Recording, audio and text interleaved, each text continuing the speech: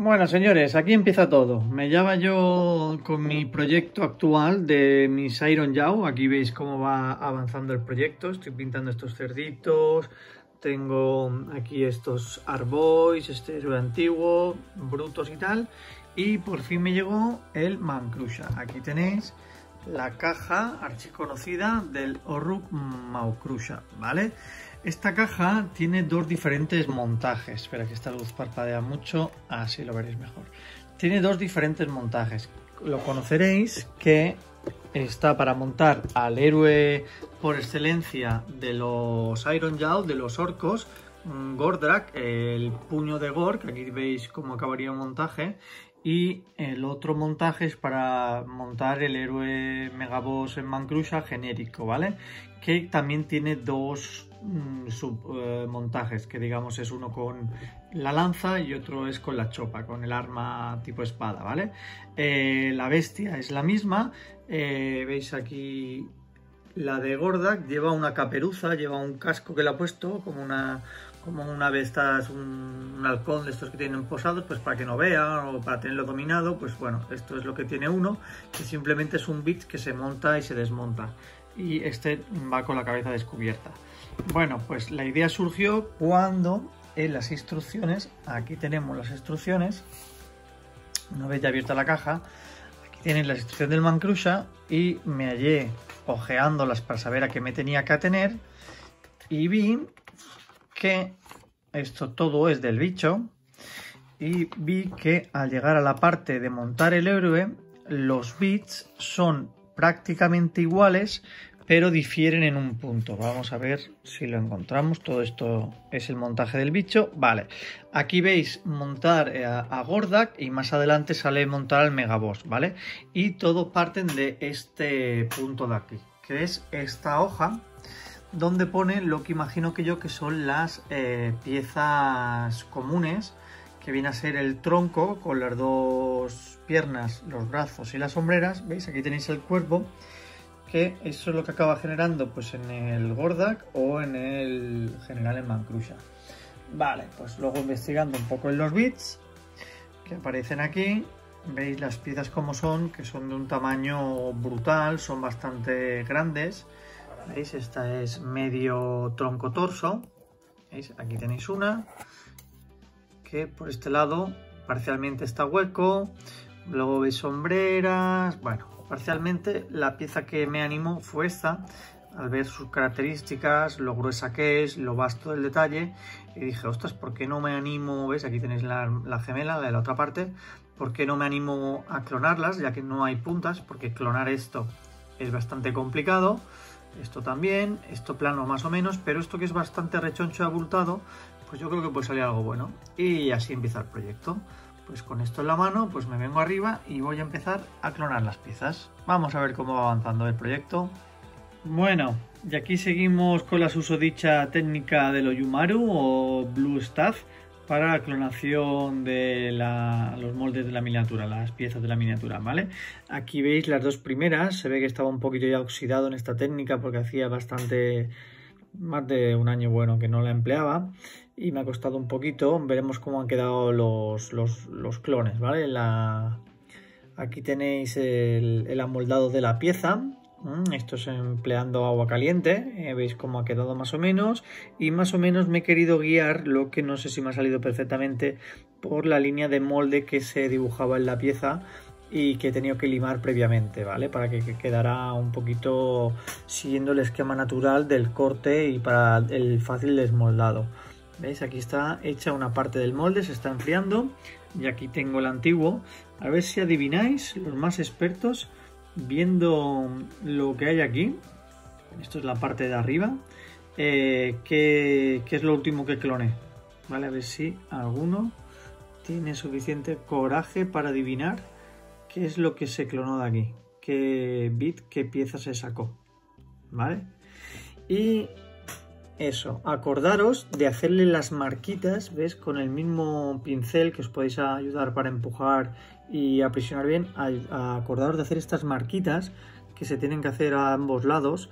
Podéis hacer tres o cuatro, incluso más, ¿vale? Aquí tiene tres, este tiene dos, que es para que luego el buen encajado de la pieza, digamos, tapadora, ¿vale? Para que a la hora de buscarla no torzáis y vaya a buscar las dos puntas con los dos agujeros, ¿vale? Pues nada, hasta aquí el proceso y veremos esto cómo va. Bueno, seguimos con el proceso de nuestro caudillo orco. Aquí tenéis los moldes hechos. ¿eh? Ya los dejé enfriar. Esto es un trabajo de un día para otro, ¿vale? Pensar que este proceso es bastante trabajoso y bastante lento. No es nada recomendable para clonar muchas miniaturas en serie, pero simplemente para conseguir unos bits y conseguir una miniatura especial, como en este caso un caudillo orco. ¿Vale? Aquí tenéis ¿eh? la parte de abajo más lo que es la funda de arriba. ¿Cómo rellené los moldes?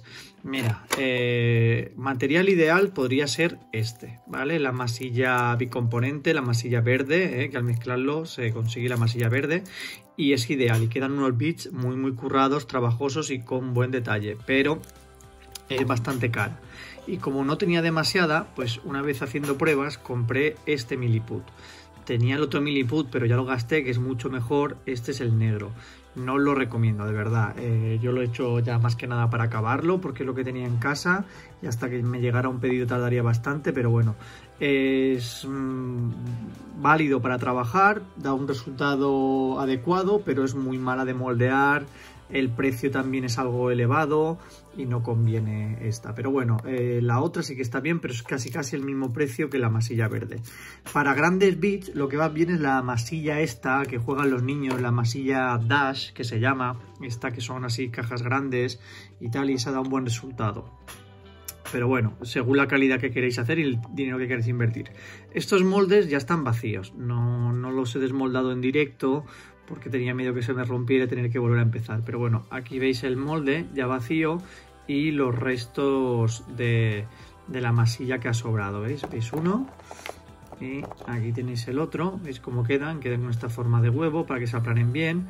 Los dos agujeros que nos hacen de guía y para que se enganchen y aquí quedaba la otra. Y ahora veréis las piezas en sí, cómo han quedado. Están tal cual sacadas del molde, ¿veis? Estas son las piezas. ¿eh? Ha quedado una gran rebaba, que todo esto se va a chafar, a cortar, perdón, para, para quitar y pulir. Eh, mirad la pieza original como es. ¿eh? No tiene la calidad que tiene la pieza original. Por ejemplo, aquí veis la costura que está muy desfigurada. El de esto tiene un poquito más de rugosidad. Y bueno, no es un moldeado profesional. El pie no me ha quedado del todo bien. Tiene un poco de corte. Aquí veis que ha quedado este L, pero bueno, todo eso simplemente eh, puede quedar bien en una miniatura mm, así que no sea muy perfecta, como en este caso un orco de la destrucción, y siempre va a haber bits por encima que lo puedan arreglar.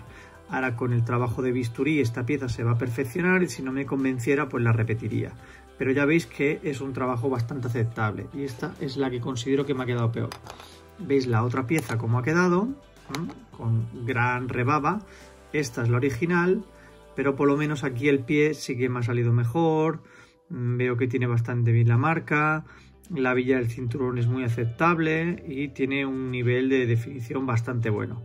Ahora lo que trabajaré con ellas, veré el resultado antes de deshacer el molde.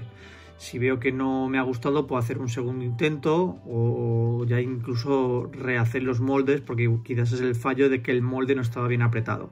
Pero si me convence, lo que pasaré es a fundir estos moldes en agua caliente y a clonar el resto de piezas. Porque para tener el tronco o el cuerpo del caudillo completo necesito clonar por lo menos también los brazos. Siempre hay que ir a, los bits gordos, no vayáis a los bits pequeños tipo espada, eh, por ejemplo aquí lleva como un taparrabos, todo eso, es mejor emplear otros bits, que yo ya me estoy planteando usar los de la caja de los Orruk Brutes, de los brutos, que, que, sobran muchos bits y me van a acabar de hacer la miniatura. Bueno, pues hasta aquí el proceso, nos vemos en el siguiente. Bueno, seguimos adelantando aquí el proceso. Como veis, ya he hecho diferentes moldes de las diferentes piezas y ya desmoldé y perfeccioné la pieza del torso. Aquí la veis ya eh, montada, unida. Eh, le corté los pies y los pineé y rellené un poco el hueco con masilla verde para que quedara en una posición más erguida porque estaba como surfeando, ¿sabes? Como montando en el mancrusha, ¿veis? Aquí lo veis bien ¿Dónde está el corte y el relleno? Tengo que pulir. es que la miniatura es hueca porque los bits ya son así y aquí veis la parte cortada que queda muy marcada pero que luego eso con bits encima y pintado y a las malas raspado un poco queda bastante bien estos son bits más delicados veis aquí tenéis el original el que va a ir en la espalda veis la idea es principalmente esta que la miniatura con los bits más sobresalientes al ser originales y de plástico pues se note menos. Veis aquí tenéis el original y aquí tenéis la copia. No tiene la misma calidad bueno no está perfeccionada veis falta que pula aquí una rebaba y los detalles no se ven tanto no están tan marcados y con tanta perfección. Por ejemplo se nota más aquí en el chirimbolo este. Y la parte de atrás para ahorrar trabajo no la trabajé no le hice un molde doble veis esta parte ya no la cloné digamos es el molde de una sola pieza donde la pones dentro y lo que sobra lo aplanas con el dedo para que te quede más o menos amoldable a la miniatura. Bueno, y es más fácil y sencillo hacer que cuando son moldes de este estilo dobles. ¿Veis? Este lo vamos a abrir. Esto es un bit del brazo. Veis que queda muy marcada la rebaba. Y, por ejemplo, todo el trenzado de lo que es el puño, la cuerda, pues no queda tan eh, perfecto como la miniatura original. Pero bueno, ahora esto con un poquito de bisturí y un poco de limado va a quedar bien. Aquí unas pruebas de bit pequeños que van en la armadura y lo que sería el bit del cuello, que es la boca también de, del orco. ¿Eh? Esto es lo que rellena la pieza esta. Y esto aquí, si lo abro, a ver si soy capaz con una mano, ¿veis cómo ha salido? Pues aquí está. Y ahora doblando, con una mano va a ser difícil, doblando el molde si se rompe no pasa nada porque es reutilizable y aún tenemos el original. ¿Veis? A ver si lo desmoldo. Ay. Ah, ha salido. Y bueno, ni tan mal esta pieza tampoco. Este hueco es así en el bit ¿eh? original. ¿Veis? Si veis el bit original, tiene este hueco. Es que ahí va otra pieza de armadura que creo que también tendré que clonar si no empleo otro bit de otros muñecos. ¿Veis? Aquí ha salido mejor diseñado lo que es la mano y tal. Bueno, sigue el proceso. Ahora veremos cómo avanza. Seguimos avanzando y esto ya empieza a parecer un caudillo orco. Como veis he preparado las piezas y ya las he pegado. Las he pegado de un modo diferente para ganar una miniatura pues con un estilo propio y diferente. Aquí me he dado cuenta que voy a necesitar clonar el bit de la tapadora del culete, que es esto de aquí. Este bit es bastante complicado, pero bueno, todo lo que nos salga, como estos puntitos así, lo que le pondré será pues otro bit encima para tapar. ¿Eh? Veis que hay bastantes huecos a rellenar con masilla. Pensad que también pues no me he adaptado a la miniatura original, o sea, he cambiado la posición. Y claro, esto ya no es trabajar con plástico que simplemente con el pegamento se arregla, aquí ya tienes que enmasillar. Pues bueno, aquí ya tenéis la miniatura y ahora ya pasaremos a añadirle eh, como en los pies eh, masilla verde para rellenar y luego simplemente ir añadiendo bits eh, de los originales. ¿Veis? Por ejemplo, tenéis la cabeza, que es lo que más va a destacar y claro, estos bits van a quedar como un armazón un poco oculto tras los bits originales. ¿eh? Hay que ponerle bastantes y veremos cómo queda. Bueno, mirad, aquí ya tenemos un avance más del el pedazo de bicharraco. Aquí ya he rellenado todas las juntas con masilla verde. Mi esculpido es bastante malo, la verdad. Mira, aquí la pieza del culete me ha dado pereza clonarla y le he hecho el típico pelaje. He juntado las juntas de por aquí, las de aquí. Esto ha quedado un poco pegote. Aquí le he hecho una especie de, huevera, eh, como un paquete hecho de cuero, luego el pintado mejorará. Y le he hecho la junta de aquí. La verdad que ha quedado muy vasta, no está muy detallada, pero la idea es que va a ir con unos bits que lo van a tapar bastante, por eso no me he esmerado en, en pulirla ni nada porque va a quedar bastante cubierta. Uy, aquí me he dado cuenta que falta un poquito más y quizás otro poquito más por aquí. Ahora ya haremos esos remates y empezará con lo que es la parte más resultona y divertida, que es añadirle bits. Aquí he coleccionado todos estos bits que son los sobrantes del Mancrusha y algunos que sobran de los Brutes. Yo no le pongo todas las calaveritas y estos a los Horus Brutes y lo voy a mirar de emplear. Bueno, ahora veremos cómo va avanzando esto. Señores, esto va cogiendo forma. Aquí tenéis un nuevo avance que veis que esto ya parece un orco de verdad, un megaboss. Aquí es la parte guapa donde se le han añadido los bits eh, originales, que son de lo que más resalta la miniatura. Ya está más seca, está más reforzada. Aquí le he añadido estos bits que he clonado yo, a de espuelas, para tapar un poco las imperfecciones. Veis, aquí tiene otro. Aquí tenéis pues el protector este de aquí lo que es la espada con la mano, el bucal este, la cabeza, la mano, todo eso. Otro pequeño truco que también he hecho, que me ha ayudado aquí un compañero a decir, es para rellenar, que ahora lo tengo que hacer un poco mejor, estos huecos donde es casi imposible introducir la masilla verde, las juntas esas que en la forma original no se van a ver, pero si giras mucho la miniatura y empiezas a explorar la web, eh, hay un agujero muy grande.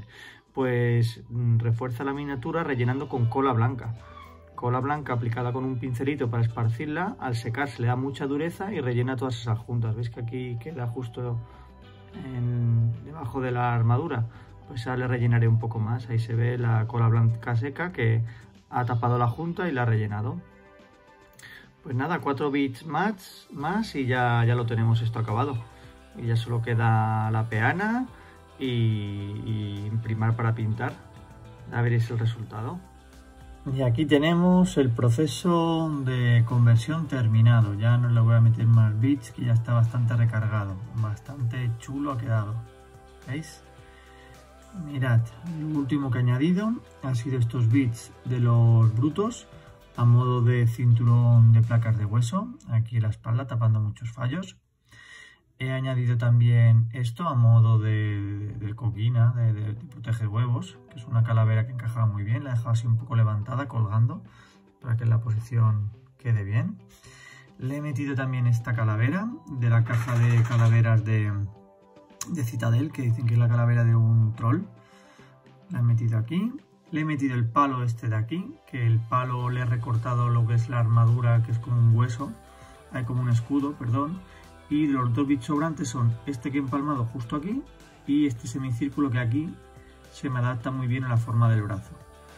Y para rematarlo y hacerlo diferente, aquí a la calavera le he añadido este bit, que es la cabeza de un Storecast con eh, pues, simbología orca, una mandíbula, unos cuernos y todo. Y finalmente repasado el truco final, que aún no está seco, veis ahí con cola blanca aplicada con el pincel, para mm, recorrer bien los huecos y que se acabe de rellenar y dar fuerza a esa zona. Aquí ya tenéis el bicharraco acabado. Ves como los bits clonados han quedado debajo de un amasijo de bits originales y no se aprecian tanto y los detalles están bastante enmascarados. Esto con un buen pintado y, y una buena peana, ¿veis? Aquí está el tiparraco. Es un megaboss diferente, empleando los bits del Mancrusha. Y para que tenga una persona diferente y no sea directamente el del Mancrusha bajado, pues hago unas cosas cambiadas, algunos bits extras, muchas calaveras y mucho pincho. ¿Eh? La verdad que ha quedado un señor bicho. Luego veremos pintado cómo queda. Espero que os haya gustado lo que es la conversión, que os animéis. Lleva mucho trabajo, pero bueno, conseguís miniaturas únicas y aprovecháis esos bits tan molestos que sobran de las cajas, que luego no sabes qué hacer con él, que muchos no son aplicables para otra miniatura más que la original de la caja. En este caso, el Megaboss tiene unas proporciones muy descomunales y esas manos, esa cabeza no le vale a ninguna otra miniatura de, los orcos. ¿eh? Por eso me originado este pedazo de conversión. ¿eh? Espero que os guste y más adelante lo veremos pintado. Venga.